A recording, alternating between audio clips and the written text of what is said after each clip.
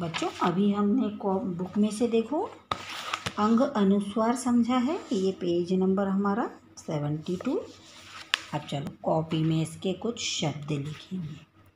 तो हमने डेट ली twenty three zero eight two thousand twenty one. अंग अनुस्वार, ठीक है?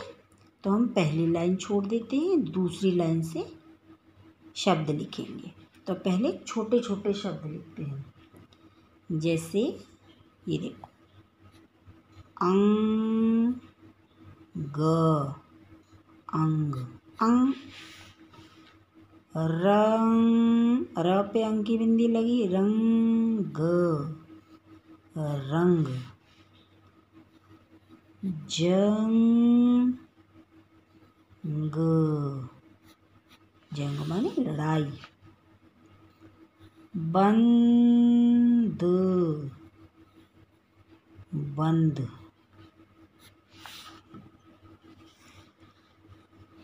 अब है दंड। दंड माने सजा। दिखाई दे रहा है? अब है हंस हंस एक पक्षी है, सफ़ेद रंग का होता है। शंख। शंख।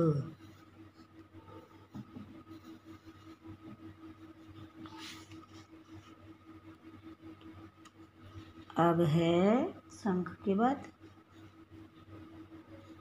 संग लिख लेते हैं। संग। ये देखिए। दो अक्षर के शब्द ही कितने सारे हो गए। चलो, अब और लिखते हैं। पंग खा, ख में आकर डंडा लग गया। पंखा, ठीक है? चंदा चाँद लिखेंगे बच्चों तो चंद्र बिंदी आएगी। चंदा लिखेंगे तो अंग अनुस्वार आएगा और चाँद में अनुनासिक आएगा। अभी हम आगे अनुनासिक भी सीखेंगे। अभी हम सीख रहे हैं अनुस्वार। चंदा, कंघा, जिससे हम बाल बनाते हैं। कौन कंघा, ठीक है? गंदा।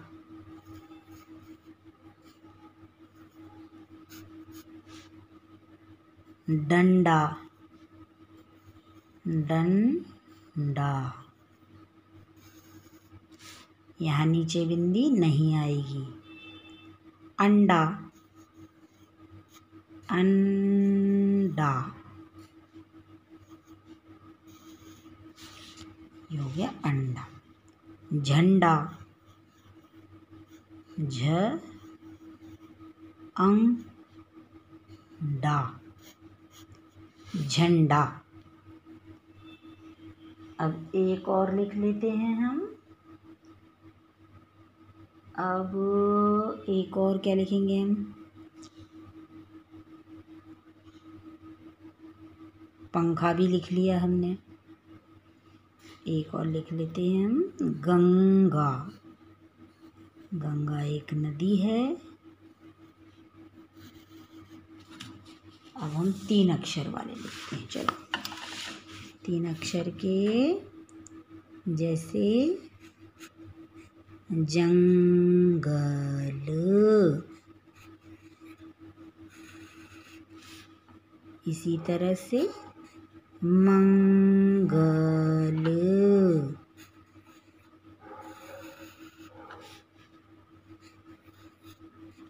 बंदर। अंदर।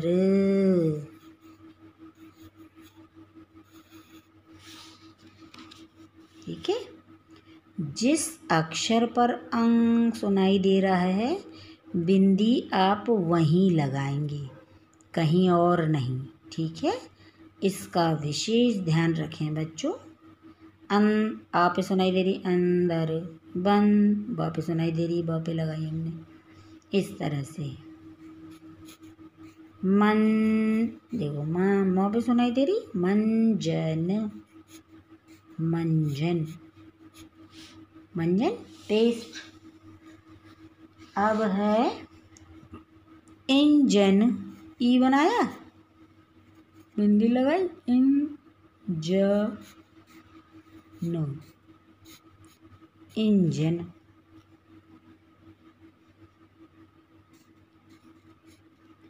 चंचल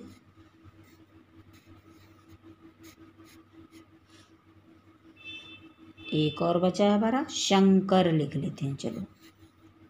शंकर। शब्द तो बहुत है बच्चों, पर हम सारे तो नहीं लिख सकते। इनके माध्यम से हम ये सीख लेते हैं कि मात्रा कहाँ लगेगी ठीक है? तो ये शब्द आपको इसी तरह से लिखना है, उच्चारित करते हुए। इनका उच्चारण करेंगे आप, फिर लिखेंगे। उच्चारण करेंगे, फिर लिखेंगे। इस तरह से। तो आपके एक साथ दो काम हो जाएँगे। एक तो आपका कॉपी वर्क भी हो जाएगा और आपको अंग की शब्द पढ़ते भी आएँगे और लिखते भी आ जाएँगे। ठीक है? Thank you